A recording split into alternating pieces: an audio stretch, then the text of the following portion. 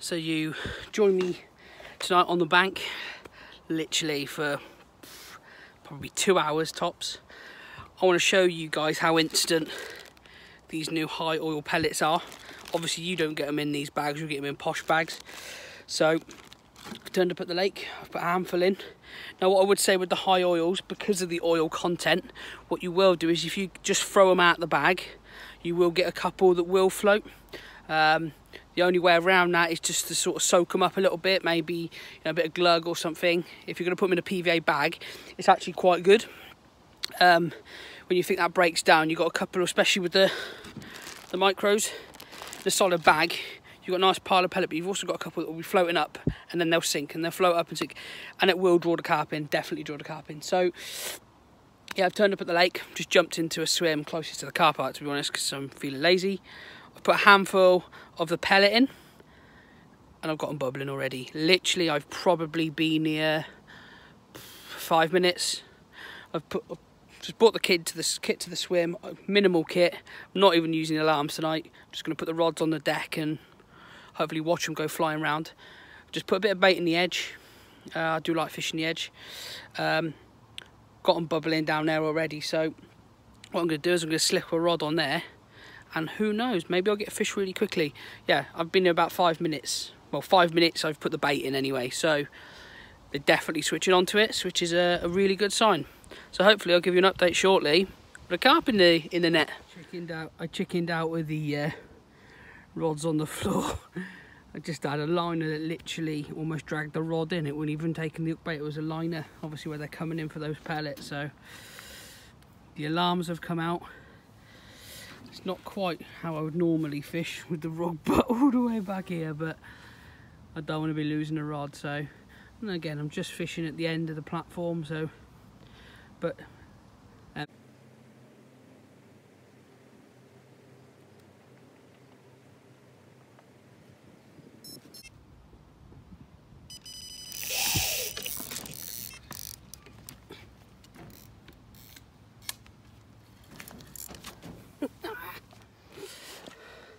we go guys, I don't know if you saw that take, it was pretty epic, not big one, the biggest fish of the lake, but a lovely comment slip it back, put some more pellet in, see if we can get another one. Lovely. Just gonna take the time now, I've put the rod back out over top of the pellet, you know, it is it's doing really well, so I'm quite happy with it. Um, and basically I want to talk you through um, the rig which I'm using a lot at the moment. Um, I'm doing a fair little bit here and there on on um, on some of the club waters which I'll be honest, they're not the hardest. Some of them are not the hardest. You know, some of them have got really good stocks. This place does have a good stock of fish in it. Um, but they are really tuned into that pellet, which is good.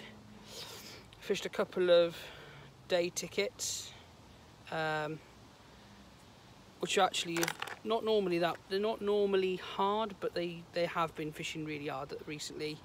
Um, partly because of all this sort of coronavirus stuff, the amount of blokes I'm seeing on the bank is far more than I've ever seen before. So they're getting fed a lot more. So if there's more bait going in, you don't necessarily have to pick up your hook bait because there's just there's so much food going in. So I'm just gonna put a hook bait on here quickly and then I'll just show you what I'm doing. Um, I'm a big fan of the spinner rig, as you know, some of you will know. I enjoy using the spinner rig, but some of these lakes, fish have been really finicky on the bait, so I've gone back to a rig really where I don't know why I stopped using it to be honest, because I've caught so many on it. It's that. Uh, it's a KD rig, but it's fished Muzzer style. So um, what I've got there is just an out the bag bottom bait.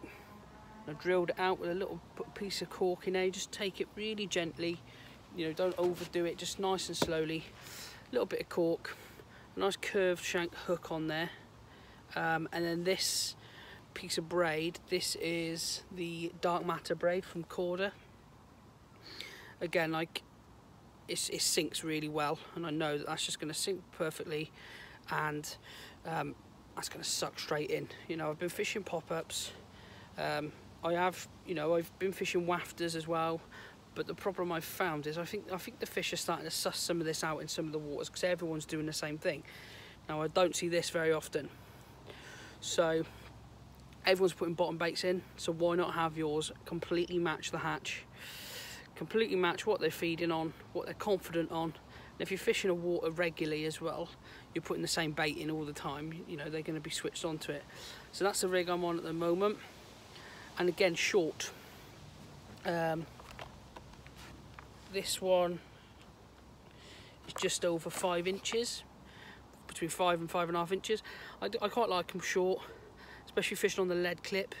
Um, I think I only use small leads as well, so they pick that up, they pick the lead up. Um, but what I'm also doing with my lead clip is I'm, I'm fishing it sort of semi-bolt bolt rig, so basically the fish picks up, shakes their head, you get an absolute screaming take, and then the lead slides up the line, up the tubing, up the lead core, whichever setup I'm using at the time. Which means the fish thinks it's free, but it's not. Um, and that's done me a lot of bites recently. Um, just something a little bit different to what everyone else is doing. But that's the rig I'm on. Just fishing the KD rig, Muzzer style.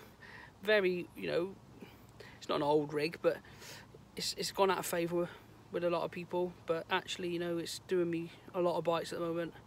Um, yeah, so if you haven't tried it before, get on the Muzzer. Look at that you just know when they suck that in that is going straight in the mouth. And that hook bait with a bit of cork just makes it a little bit lighter a bit like the rest of the free offerings and sucks it in straight in. So there we go get on the Muzzer. So we're starting to lo lose the light now so I'm going to start packing up. Um, but you've seen it you've seen it guys the pellets work put them down the edge or put them out in a, in a PVA bag. Again they've worked really really well. A good high quality uh, pellet at a really good price as well you know just trying to help you guys catch more fish really. So I'm going to end this video there. Uh, if you like this type of video if you the first video you've ever seen of mine if it's the 70th video you've ever seen of mine and you haven't subscribed click that bow, uh, bell notification at the top. Um, and then basically when I post a video you'll be notified um, that there's a new video. If you're interested in the bait in particular as well guys so obviously at the moment I've got the high um, the high oil pellets but again I've got other pellets in stock as well normally. Um, stock is very much hit and miss at the moment. I'm trying to sort that out. You know it's being supported by some of you guys that are you know are buying it you know, in, good in large quantities means I've just got to keep keep getting bait in. But I can. It doesn't normally take long to get to get stuff in. So if you're looking at any of the bait, go onto the Facebook page. It's NG Fishing Baits. On there, I'm updating all the time, uploading um, new baits that have come in when where, where I am with stock wise, and then just message me through there if you're interested in any of any of the bait range. So that's it. I'm going to wrap it up. Hopefully pack up quickly before it absolutely chucks it down. Um, but then, until the next time guys, uh, enjoy your fishing.